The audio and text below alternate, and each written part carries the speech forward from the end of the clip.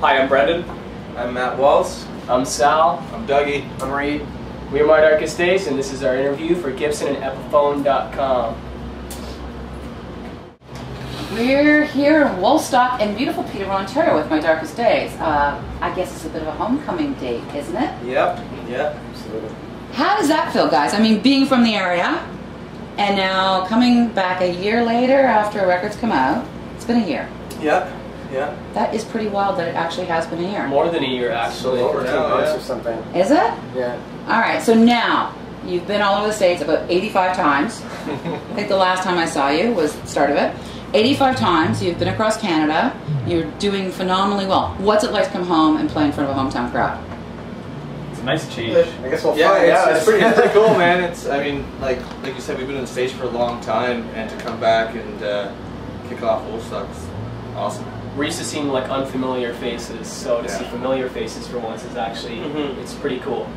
It brings you back, I guess, right? Mm-hmm. That's where it's all, uh, where it all started. It's where it all started. Now, I mean, it wasn't an overnight success. There was a lot of stuff that went on. We had some changes in the band. We now have a coherent lineup here going on. But really, in the past year, you guys have accomplished something that a lot of bands are trying to achieve to do with phenomenal success because you know the rates of record sales. I mean, how's that been? What's that been like in your growth process? What's been the most important thing you found? Um, just remembering what we practiced in our in our jam spot, and then just learning uh, on the road uh, just new stuff. Um, just performing uh, better, more energy, um, and to try to keep the party to a minimum, but Or we- maximum yeah. at some time. yeah, exactly.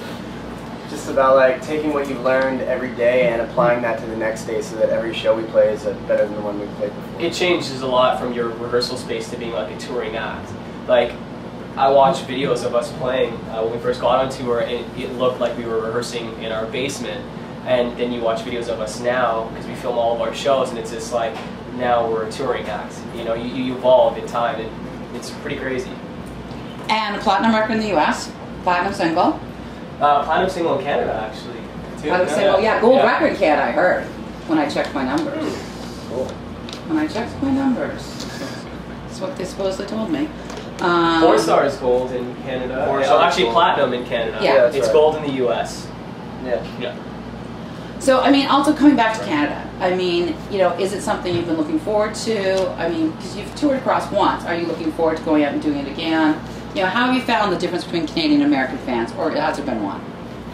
Oh, the accent. I miss the accent. Yeah, back it's here, important. it's like yeah, you come back and it's just like.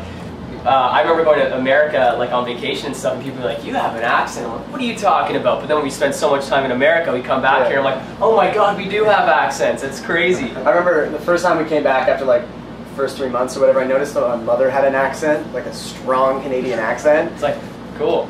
It's like, wow.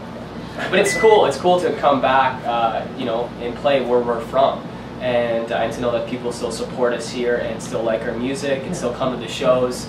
I guess when you spend so much time in the U.S., you start to fear like, well, if we ever come back here, are people going to care about us? But then we come back here, we did a bunch of tour dates, and people are still coming to our shows, and it's just as pumped, and it's pretty awesome. Now, okay, we gotta talk about. Let's talk a little guitar action, because in the band we got some Kramers, some custom Kramers that been built. Yeah.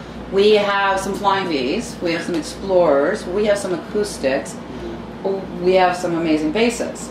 I mean, obviously you came to the Gibson family before all this blew up. So how have you been finding that? Like, what what's for you? I mean, the V's been a really important thing for you. Yeah. Uh, well, I remember the very first time I saw uh, Randy Rhoads play a Flying V, and there hasn't been like a lot of people who've played it since, and I was like, ah, I want to bring that back so bad. And um, we play modern music, and Gibsons are traditionally, uh, you know, more of a classic instrument. When you think of a Gibson, you think of uh, Jimmy Page, you think of Slash, um, and, and it's cool to bring like a classic instrument into like a new age stream. Uh, we're playing like you know heavy new rock, and it's just really cool. We see like a lot of people with um, you know guitars that I guess you could say are designed for the music that we play. So it's kind of cool to play an instrument that is not necessarily designed for the music we play, but it works really well.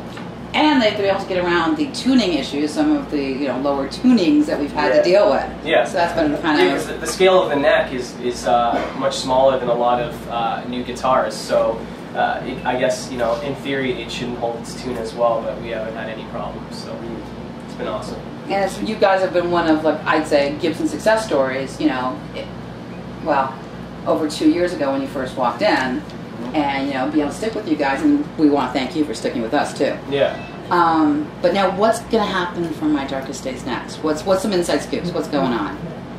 I'm just gonna get off the road and start writing some songs, get back into the rehearsal spot, and do it all over again. Yeah.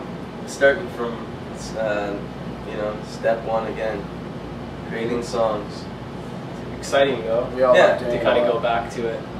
being able to just sit around with Gibson acoustic guitars or whatever and uh, just write some songs together. Well, we used we used to go from practicing like, you know, five to even eight hours a day to like, like Sal will warm up, you know, 20 minutes before a set, and then we play half an hour. We play an hour. It's, it's, it's kind of different. To it's good to get back to that. So we're about to jump back into Mhm. space and just play for hours and, and just you know catch a new vibe.